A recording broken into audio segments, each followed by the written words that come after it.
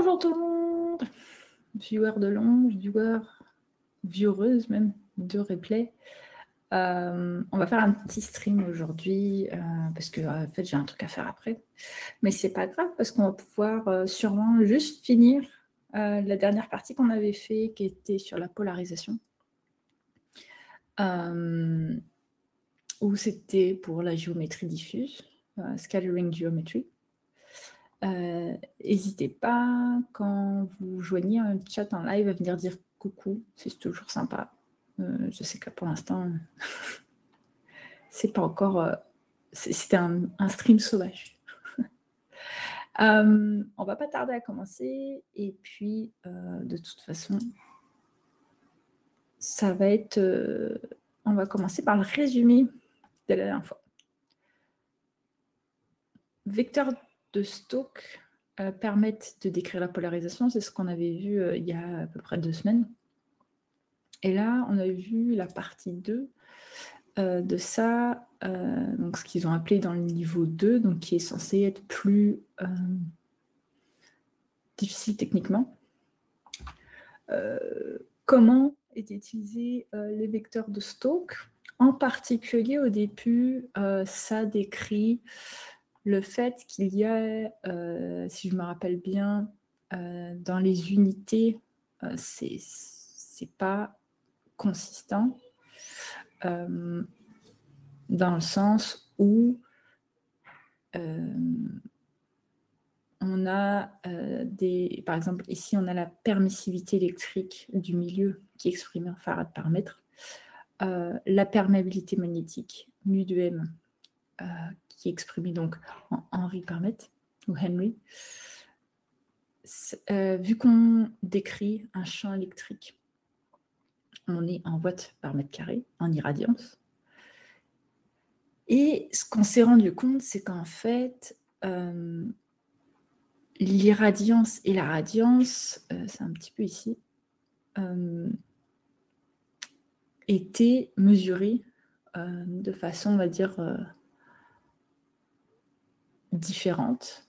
on va plus souvent en vrai dans les cas de géométrie diffuse mesurer la radiance, c'est-à-dire l'irradiance, donc la puissance euh, par, pour une surface, mais sur un angle solide, puisqu'on était sur un faisceau de lumière. Donc ça, c'était pour le cas de ce qu'on appelle la scattering geometry. Euh, et c'est cela, en fait, c'est les, vecteurs de Stokes diffus donc qui mesurent la radiance, qui vont être utilisés après dans le reste du bouquin euh, pour décrire les équations. Euh, il y a aussi un petit point qui a été fait sur cette partie-là avec la permissivité et la perméabilité magnétique, enfin électromagnétique. comme quoi, il faut surtout pas l'oublier pour rester correct, physically correct, puisque ça change toutes les magnitudes finalement. Euh, donc c'est important quand on va regarder des papiers, etc., de vérifier, un, euh, si on est sur des vecteurs de Stokes qui décrivent une radiance ou une irradiance, mais aussi euh, si la magnitude est prise en compte et si les unités sont aussi différentes. Ça peut arriver. De la même façon, le système de coordonnées, donc ça, ça fait plusieurs fois qu'on le voit, il va être choisi en fonction finalement de sa spécialité. Et dans le cas euh, de ce bouquin-là, en fait, on va voir euh, le sens du vent qui va représenter l'axe euh, des X. Et on va avoir Z qui va être finalement la profondeur à la surface, ce qui veut dire que la surface de l'eau, si l'eau est plane, sans vague, ce serait le plan des axes X et Y. À partir de ça, on avait déterminé euh, bah, fait, des notations de vecteurs euh, en fonction de incoming et output. Euh, donc, on avait R, θ et phi pour les incoming et les outputs étaient V', H' et epsilon'. avec E étant le, notre filtre polarisant. il me semble.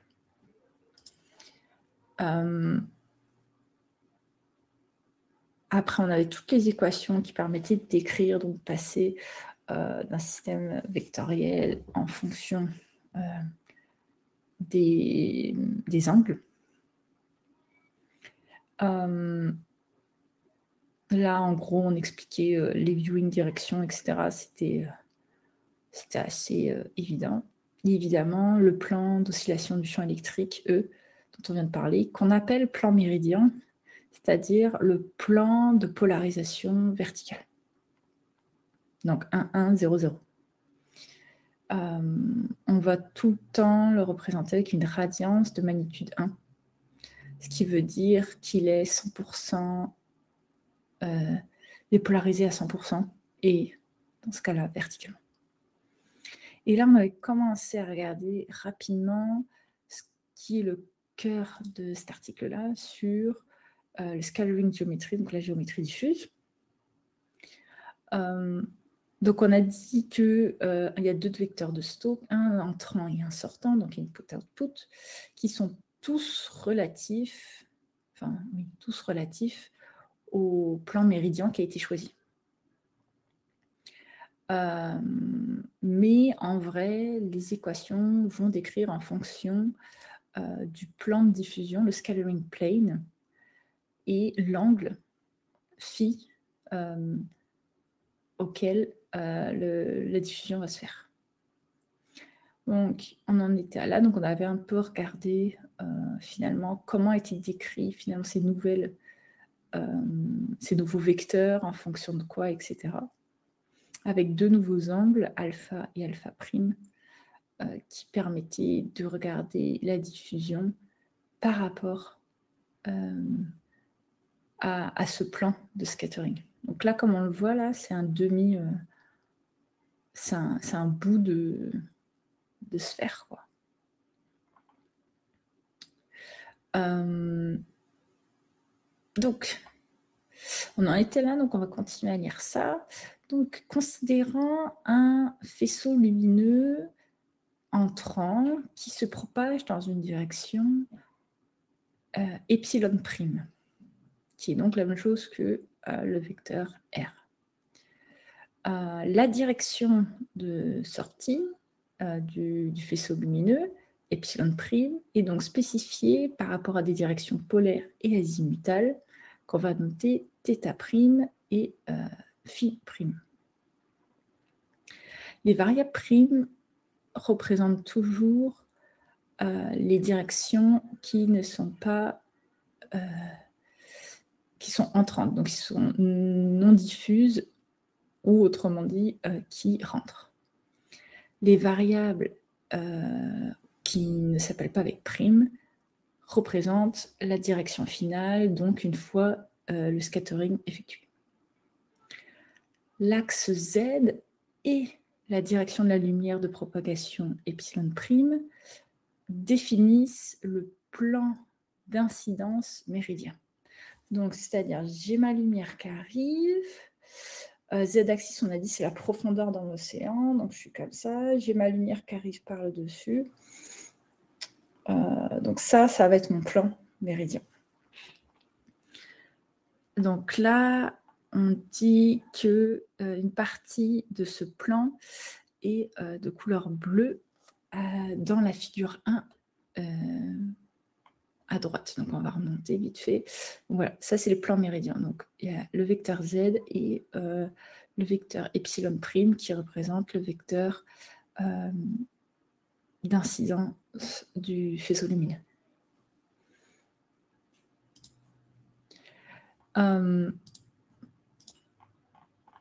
donc si on continue là-dessus, les vecteurs de Stokes, toujours en 4.1, donc entrant c'est S' avec I, Q, U et V', euh, vont aussi avoir des directions horizontales et verticales, qu'on va toujours appeler H pour horizontale, V pour verticale, et évidemment prime, puisqu'on a dit que prime, c'était euh, la direction incidente. Euh, là, quand on voit le T, c'est une transpose, parce que normalement, on le met à la verticale, là, on l'écrit à l'horizontale. C'est juste ça. Euh, le vecteur horizontal H' est perpendiculaire au plan méridien. Ok, donc quand on voit H, c'est perpendiculaire au plan méridien. Et V, il est parallèle. Donc, pour euh, calculer comment un vecteur de Stokes incident est diffusé euh, ou est scattered, vers un vecteur de Stokes S final, les composantes horizontales et verticales de S' sur le plan euh, méridien incident, incident doivent d'abord être transformées euh, rotaté pour être exact, euh, dans des composants parallèles et perpendiculaires au euh, plan de diffusion. Donc, le système de coordonnées, une fois rotaté, donc d'abord on va faire la rotation des vecteurs horizontaux et verticaux V', H', euh, ok, donc on fait d'abord la rotation des vecteurs V et H', V', H' par rapport à l'axe euh, epsilon prime qui est le, faisceau lumineux entrant. On va donc avoir un système de coordonnées avec P' qui est euh, parallèle au plan de scattering. Donc on a dit que parallèle, c'est V', donc une fois V' rotaté devient P'. H', je suppose, rotaté devient S', c'est-à-dire perpendiculaire au plan de scattering. On a vu que c'était euh, de l'allemand, donc P pour parallèle, S pour en fait perpendiculaire, mais en allemand. Euh, ce qui va donner que si on prend le produit en croix de S et P', c'est la direction de propagation euh, initiale, vu que on va être dans le plan de scattering. On va. Donc, si on a un plan de scattering, on en a un, il est parallèle, l'autre, il est euh, perpendiculaire euh, au plan. Je ne sais pas si ça se voit bien. Bah, le troisième, finalement, c'est notre, notre epsilon prime. Euh, dans la deuxième figure qu'on voit ici, là, qu'on va reprendre après, on va avoir un angle de rotation alpha prime euh, pour aller de V' vers P'. Et donc, du coup, de H' vers S', vu que on a dit qu'on faisait une rotation sur ces deux vecteurs. Donc, évidemment, l'angle de rotation entre les deux reste égal. Euh, Actuellement, pour la discussion, euh, on va dire que les angles de rotation sont définis comme étant positifs lorsqu'ils sont dans le sens inverse des aiguilles d'une montre, donc indirect, lorsque l'on regarde vers la lumière, c'est-à-dire dans la direction moins epsilon prime. C'est euh, similaire aux rotations sur l'axe Z qui sont montrées à figure 1 qui ont donc des angles positifs phi lorsque les rotations sont à l'inverse de l'aiguille du monde, donc indirectes, lorsque l'on regarde la direction moins z. Lorsque l'on calcule euh, le premier scattering ou single scattering, avec à la fois epsilon et epsilon prime étant exprimés dans euh, leur plan méridien respectif, les angles de rotation peuvent être obtenus à partir de la trigonométrie sphérique, en appliquant euh, en l'appliquant sur les triangles qui sont définis par z, epsilon prime et epsilon. Donc, epsilon, euh, epsilon prime, faisceau lumineux rentrant, z, profondeur, enfin axe de profondeur finalement de notre surface, de notre médium euh, à queue, et epsilon, rayon sortant. Ça, ça va être euh, montré dans la figure 2. Euh, donc, je suppose que c'est celui-là. Non, attends. Euh, donc on a dit Z, epsilon, epsilon prime. Oui, on a epsilon, epsilon prime en Z. Ok, donc ça va être là en rouge.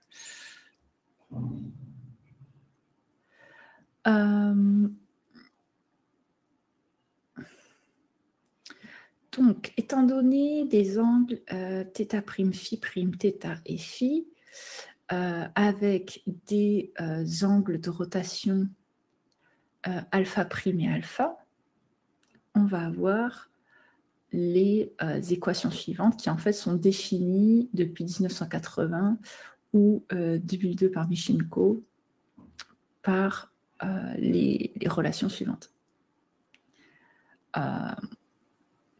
Euh, tant et si peu que euh, phi n'est pas égal à 0, ou pi, c'est-à-dire qu'on est vraiment à l'horizon, si je comprends bien, que les différences d'angle sont dans le domaine finalement du possible, etc. et alpha et alpha prime vont être euh, du coup mesurés dans, dans les négatifs euh, grâce à ces équations.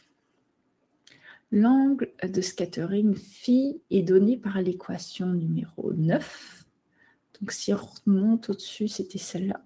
Donc cos de phi égale finalement le euh, produit scalaire entre les deux faisceaux lumineux. Donc c'est l'angle qui est décrit euh, entre phi, euh, entre epsilon et epsilon prime. Euh, ok, la rotation, les angles de rotation et de scattering finalement dépendent seulement de la différence sur les angles azimutaux phi et moins phi prime. Donc là, si on regarde, ici, on a euh, cos de θ qui peut être représenté entre phi et θ, euh, cos de alpha, je veux dire, entre phi et θ, mais ça peut être également écrit, si on part avec le sinus, en fonction euh, de phi moins phi prime. Et de la même façon pour le cos de alpha, qui peut aussi au final euh, s'écrire entre le, les, deux, la différence entre ces deux valeurs. Et si on regarde vraiment la différence entre les équations 11 qui est ici et 12, donc la différence entre sinus de alpha ou de alpha prime, la différence c'est le sinus de θ ou θ prime. Donc, si on reprend euh, l'angle alpha et alpha prime, donc c'est sur euh, le méridien, donc c'est par rapport à z, où sont définis epsilon et epsilon prime? L'angle alpha prime, euh, c'est comment passer de v prime à p prime, c'est-à-dire la rotation des vecteurs parallèles. Et là, alpha, c'est euh, des vecteurs, donc on passe de P à euh, V.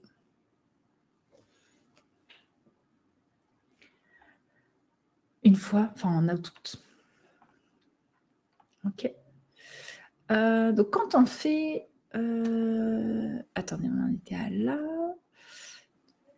Il y a des cas spécifiques qui requièrent qui sont requis lorsque θ', θ ou phi sont égales à 0.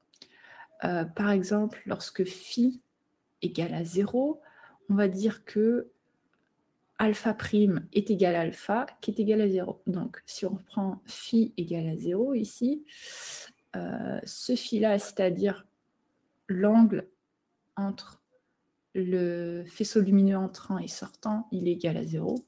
Dans ce cas-là, les angles alpha sont égales à 0. Ensuite, donc ça, ça semble logique. Euh, et en fait, ça se retrouve par rapport à les calculs, puisque les différences d'angle sont égales à 0. Et donc, le sinus est égal à 0. Euh, à, l'inverse, lorsque phi égale à pi, c'est-à-dire c'est vraiment à l'opposé, on va aussi avoir alpha et alpha prime égale à 0, puisque le sinus de la différence des deux est aussi égal à 0. Autre exception, si le sinus de l'angle rentrant égale à 0, alors on a une simplification qu'on peut faire depuis U et AL en 2001 par rapport à les cosinus. De la même façon, si le sinus de l'angle θ est égal à 0, on va pouvoir remplacer les équations par des cosinus, mais pas exactement les mêmes. Donc, quand on va faire des calculs, par... donc ça c'était le simple scattering.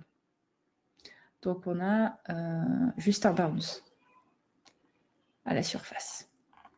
Si maintenant on veut prendre euh, les rebonds, et en particulier les rebonds qui vont arriver sous la surface de l'eau, euh, donc ici on nous dit lorsqu'on va faire les calculs euh, du scattering multiple, donc avec plusieurs rebonds, entre la surface de l'eau, euh, entre les facettes de la surface de l'eau, on va avoir un rayon euh, lumineux qui peut se réfléchir d'une bah, finalement d'une facette de la vague plusieurs fois avant finalement de ressortir. Donc c'est du subsurface scattering quelque part, mais dans l'eau. Euh, comme la peau, comme euh, le corail, euh, plein de choses comme ça. et il va falloir évidemment tourner le plan méridien final, puisque la surface de sortie n'est pas la même que celle d'entrée. Dans ce cas-là, il va être bien plus facile d'obtenir les angles de rotation depuis les axes perpendiculaires au parallèle, comme déterminés par euh, le rayon incident euh, sur une des facettes. Et la normale, finalement, ça va être euh, la, normale à cette facette. Donc, dans Mobley en 2015, il y a les détails de ces calculs, et ça ne va pas être répété ici puisque ce n'est pas d'intérêt général.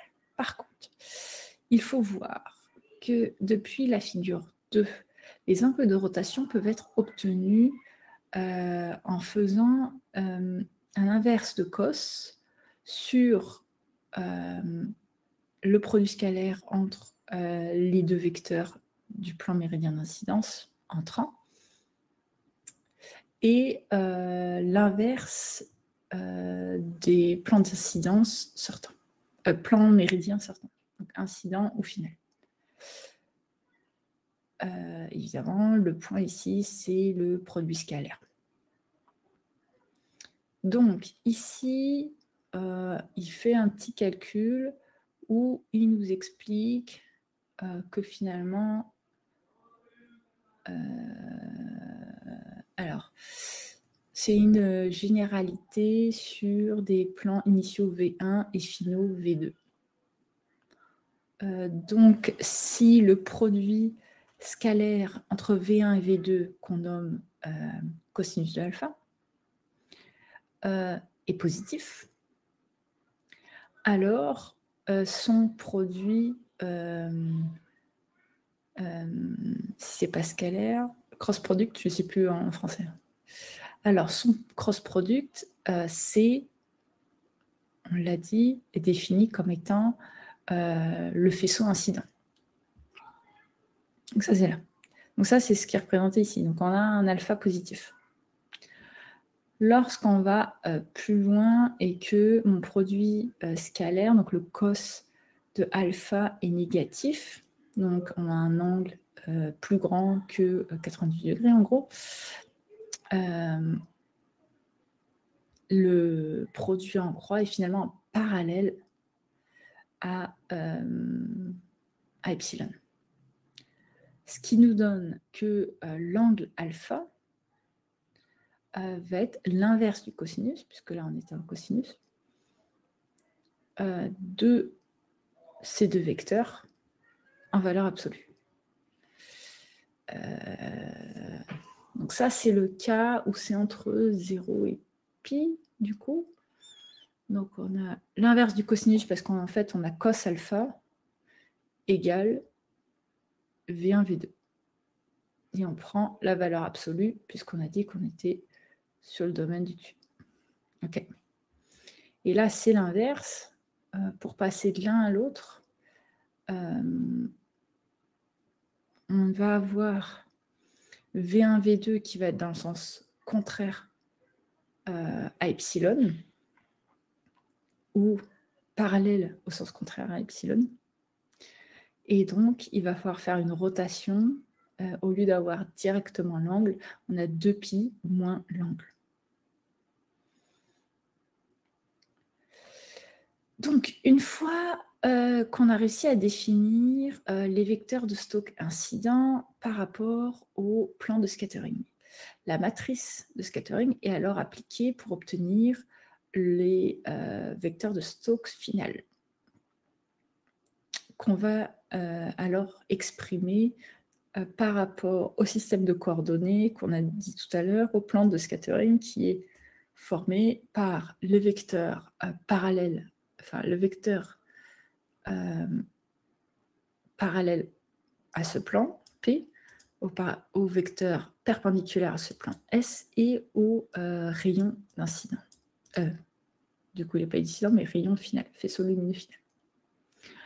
En ayant toujours cette égalité que trois, ces trois vecteurs, finalement, forment un axe de coordonnées cartésien. Finalement, euh, les composantes parallèles et perpendiculaires du vecteur de Stokes final doivent être exprimées par rapport à ce plan méridien final. C'est-à-dire, au lieu d'avoir S et P euh, d'epsilon, ben, il faut appliquer l'angle de rotation et donc le faire en fonction de H et V. Donc ça, c'est ce qu'on avait vu ici. Donc S et P, c'est par rapport à ce plan-là, là, méridien, donc celui qui est représenté ici. Mais en vrai, il faut la rotation euh, qu'on vient de trouver, donc alpha et alpha prime.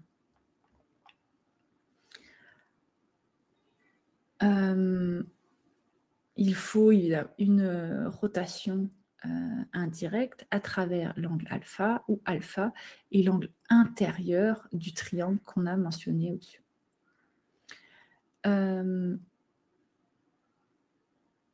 Voilà. Après, si euh, cet angle-là représente une rotation positive, euh, et M, alors oui, on les avait vus au-dessus, R et M, c'était tout au début, donc je vais remonter parce que je ne me rappelle plus trop. Ah oui, donc c'est les matrices de rotation R et la matrice de Muller qui représentent la polarisation. Donc, si ces deux matrices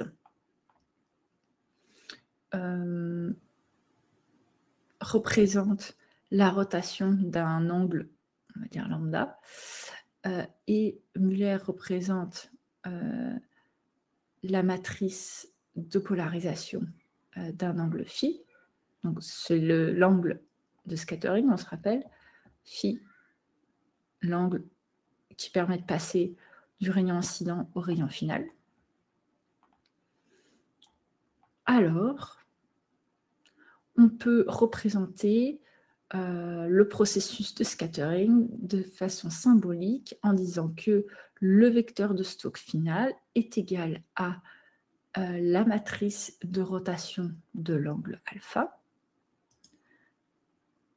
euh, multiplié donc auquel on va appliquer ouais en fait c'est ça donc S égale à on va mettre sur le vecteur de Stokes initial on va appliquer la rotation par rapport à alpha prime. Donc, on change de projection. Après, on applique la polarisation en fonction de l'angle phi. Et on retourne, euh, donc comme on l'a dit, au système HV. Donc, on va faire la matrice de rotation alpha. Donc là, on est en fonction de H et V. On repasse en S et P. On applique finalement notre, scattering, donc notre euh, matrice de polarisation en fonction de l'angle euh, de scattering. Et on va retransformer pour passer euh, des angles SCP de nouveau vers HV.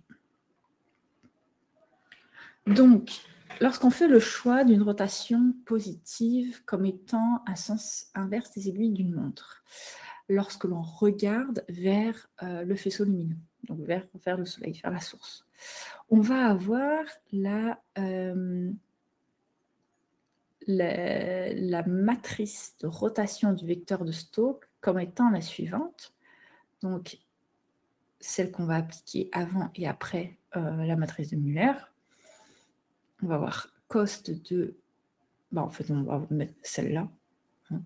je ne vais pas refaire la géométrie. Je, euh, je les trust que c'est la bonne chose. Euh, et il faut savoir que cette matrice de, rotation a euh, des propriétés très importantes. Donc, lorsque l'angle de la rotation est pi, on a une matrice identitaire, donc on ne va pas bouger.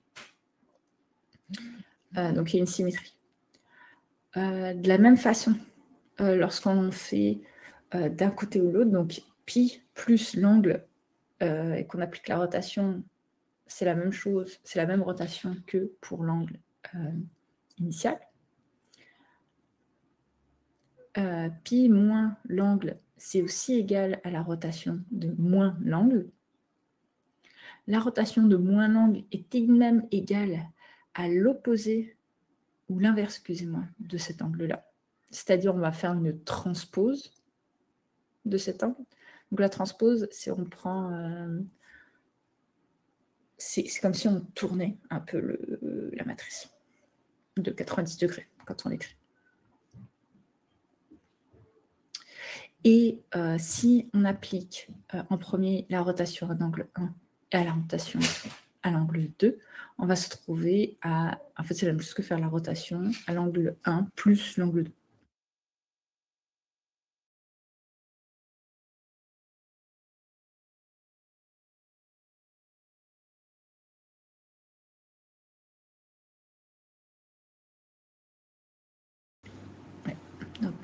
Euh, je vais euh, finir sur ce chapitre-là et on euh, finira sûrement lundi ou dans le week-end, on verra.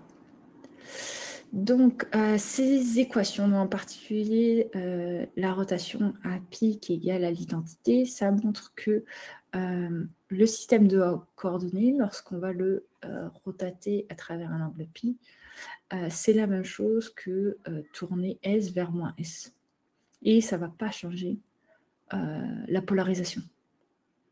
Ce qui est donc consistant avec la remarque précédente à propos euh, des équivalences euh, au regard des vecteurs de Stokes, donc de la polarisation entre regarder S positif ou S négatif.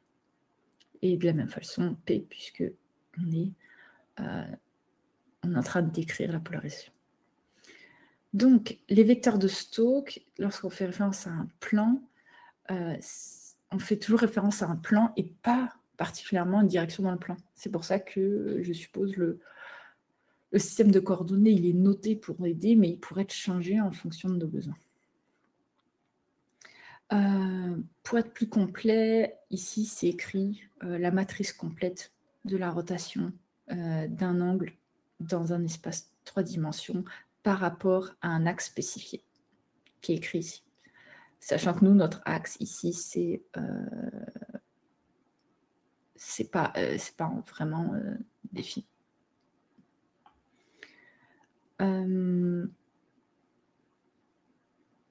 donc, le choix des systèmes de coordonnées de rotation n'est pas unique, c'est ce qu'on avait vu.